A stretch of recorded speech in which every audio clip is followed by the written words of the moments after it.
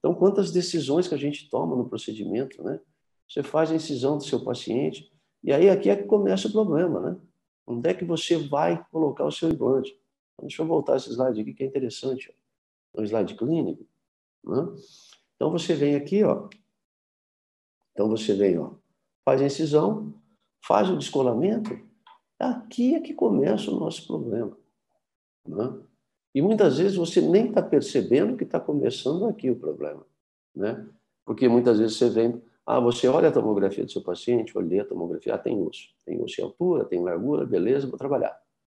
E você vem aqui, instala seu implante no meio desse osso. E, na, e vamos dizer, na inclinação que você acha. Primeiro passo, então, para que você elimine o teu estresse. E a maioria das causas de estresse nós, e nós, os profissionais que trabalhamos com implantes, é risco de lesar estruturas nobres anatômicas. Né? Esse é o primeiro ponto. Eu fiz uma pesquisa, né? eu tenho um grupo de alunos né? no online eu fiz uma pesquisa com eles.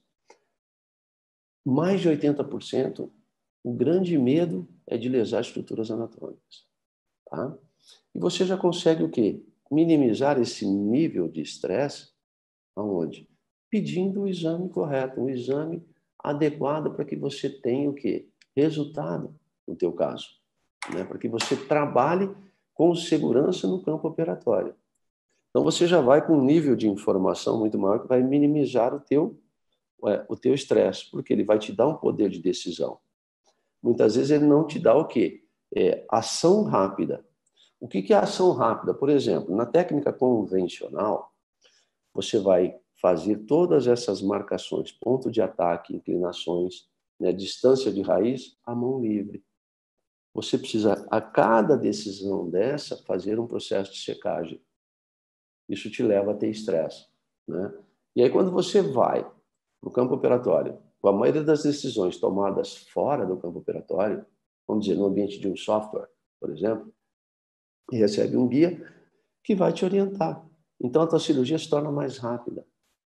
Né? Então você tem um poder de decisão acertado, a tua assertividade está maior, o teu tempo cirúrgico está menor, consequentemente você vai ter muito menos estresse, né?